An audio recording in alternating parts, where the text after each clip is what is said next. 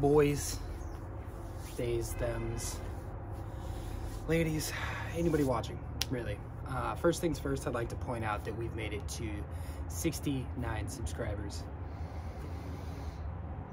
Nice.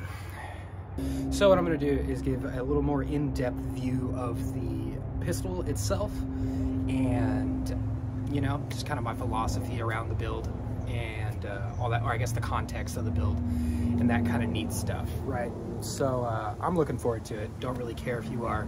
You're the one who clicked the video. Big drip like spit from a big rip. Fendi on my collar, I'm a real rich prick. Feel like some extra piece, shake 'em off my dick. Too much sauce, bro, my heel. Caution, you might need emergency. Yeah, that'll work. All right, so here it is. This is a 12.5 inch AR pattern pistol uh, with the SBA 3 brace. Arbitrary gun laws are really neat. So I'm gonna go Papa Thumb style and go tip to butt with it because it's really interesting up here and then not so great the further back you go. All right. So the upper is a Foxtrot Mike's, relatively no spec other than that it is a CNC'd aluminum receiver with an index point, making the rail and everything monolithic. Uh, you know, and that matters just in case you have a big scope and your cantilever has to stick out or you got to mount a dot off the front for a 45. Later I might do that, I might not, I don't know. That's the name of the upper. The lower is an Anderson Manufacturing, and now we'll kind of get into the guts of it. Out front, as you can see here, I have a blast suppressor. This is from Griffin Armament. Uh, it's, it's something that they whipped up for the military, so the SOP boys and stuff like that can click suppressors directly onto their A2 flash hiders, which is the standard flash hider on most uh, AR pattern rifles uh, and pistols. So I got that, but it is a blast suppressor, not a suppressor suppressor. Unfortunately, uh, I'm poor. So, uh, moving on back from there, we have a Streamlight TLR1 HL in a rifle configuration. I believe last time I still had the pistol light on there. Uh, what's cool about that is it has a tape switch, 800 lumens, pierces through the golden hour sun. Um, works great, right? Love it. Here we have MBUS flip-up polymer backup sights. Uh, cheap, easy, come on most rifles. Don't really need to upgrade them. Uh, technically can't even use them. But uh, I have this oriented forward so to give me a little more rail space because if I flip that around, I'd have to scoot this back and then I wouldn't have as comfortable of a purchase with my BCM KAG uh, hand stop, which I believe was made in cahoots with Haley Strategic and it's great off of barriers. Plus the aesthetics of it are simply better, uh, like me on COD. Uh, we'll go to the bolt carrier group here.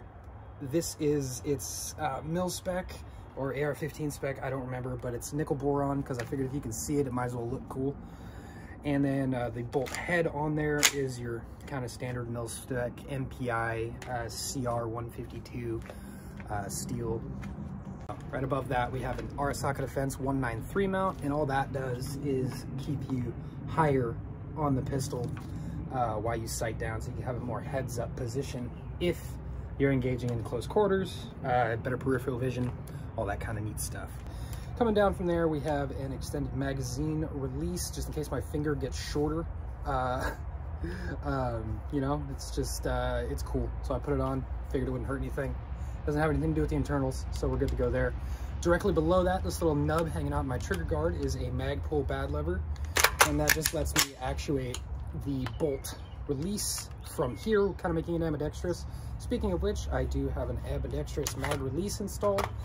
Um, again, just, just in case my right arm goes down and I have to do left-handed stuff or my, you know, just preparedness, kind of. And then behind that, we have the ACT trigger.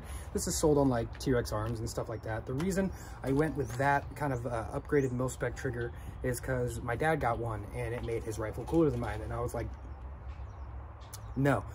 So I went ahead and got me one. They're inexpensive. It's a great upgrade. You want to ghost that with me. Little bit of take up, like 2 16ths take up, break, super crispy, super solid. Let's uh, do, let's do the reset. Just that easy, and then you're already there. And it's uh, it's a it's a good good solid trigger. I like it. And behind that, we have a Reptila Grips, kind of a shorty grip because it's a pistol configuration. I don't know why I thought it would fit in a backpack, even fully collapsed. Uh, it's not going to do that, but it looks better. A little more vertical uh, with that shorter length of pull that a pistol offers. So just a little more comfortable uh, actuating your weapon, utilizing it, uh, being really high speed, and just a ton, a ton, a ton of coolness, right? A ton of cool points there, real Gucci. Above that, we have a Radian Raptor charging handle. Uh, it's a good charging handle. I don't know. I had a crappy eBay one before and it worked. And now I have this much nicer uh, Radian name brand one and it also works. So whatever, dude. Behind there, receiver extension. This is all mil-spec stuff. I haven't staked it yet because I do plan to swap my lower uh, later on when extra paperwork happens with this pistol. And down in here, we have an Odinworks adjustable buffer. And the reason I did that is because the gas port on the Foxtrot Mike's upper is really small and does not like underpowered rounds, uh, like Steelcase or Wolf or Tula or things like that. And I want this rifle to run everything. That's why I went with a one in eight twist rate. It's just kind of weird of them to not do that. Also, uh, I'll bitch about that later. So that's why I did that. It's uh, 0.5 lighter than a standard mil spec. Out back, we have an SBA 3 pistol brace because this is a pistol. And down here, I'm sure you've seen it dangling, is an arc band. That's how I stow my sling uh, when I, this is tucked into the closet.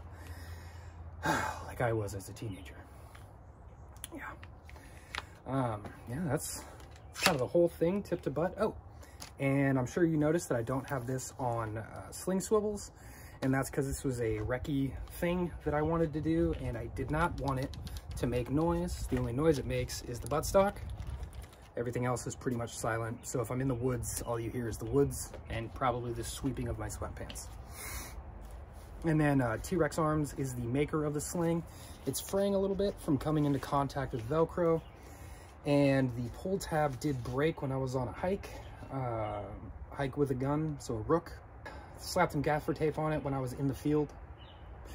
And uh, it's been holding up just fine. I could have done a warranty on it, but like I didn't want to not have a sling for any amount of time, so I just didn't. Uh, they would replace it because it was done during a training exercise. Their warranty is banger. Uh, yeah, that's... Yeah, I'm pretty sure that's literally everything. Uh, thanks for coming. I'm glad that you're here uh, to hear me gush about my project pistol uh, that I'm going to do governmental paperwork on and maybe not be a pistol by the end of the year. Uh, I'm pretty sure they're going to outlaw the SBAs soon, so I should probably do that. But I got that cool blast suppressor.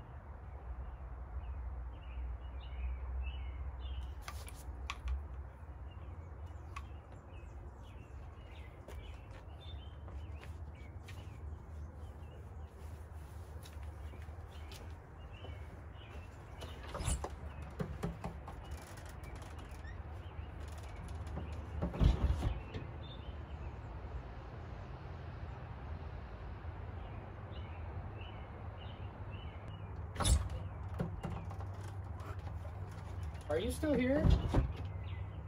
That's weird. Well, since you are still here, I'll just let you know that there's a difference between defensive shooting, professional shooting, hunting, and plinking. Explore that for yourself. Hey, let me know in the comments below if you made it this far. If I don't see any comments about getting this far, I'm gonna give you shit for it.